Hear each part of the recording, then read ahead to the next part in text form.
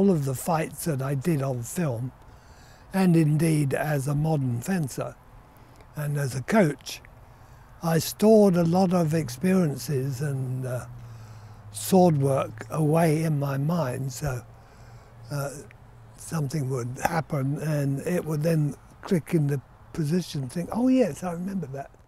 You know, he's uh, a gentleman, has a very good, sometimes wicked sense of humor.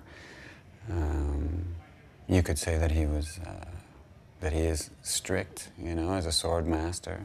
And I think in Alatriste he was given the right that he deserved to show us how to do it and show the director how to do these fights. And, and there are no elements of style or choreography in those duels or in those battles that are untrue to the period, untrue to the characters.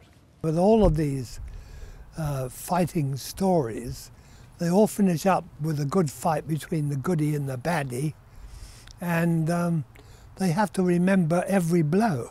I said, Are you ready? He was ready as you can be. And he goes, Yeah, of course. And just with it, like in a sort of Yoda moment, you know, this sort of Zen master moment. I don't know how he did it, but Bob, with just a little flick, sent the guy's sword flying across the room. I teach from the fight backwards to the technique. Bob looked at me and said, Well, that was probably unfair. You probably weren't really ready. Uh, why don't you go get it again? Go pick up your sword. And the guy came back. He sort of red faced and he's, he said, Now get ready. Really get ready. And the man really got quite ready this time. This wasn't going to happen again. And Bob said, Are you ready? He said, Yes, master. He says, You sure? He goes, Okay. And Bob just went like that again, almost an imperceptible movement. And the sword went flying across the room again. And it was magical. It was amazing. I'd always say that I never took up the sword. I think the sword took me up. And he did this uh, from a sitting position. He never got up, you know, and he was able to do that. I can't do it on my own. I can't attack and run around and parry and then come back again. You've got to have two people at least.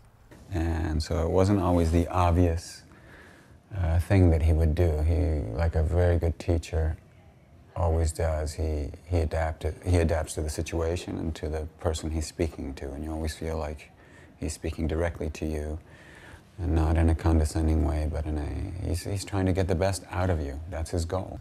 I think the sword was put there for me to fall over and keep falling over until I picked it up and did something with it.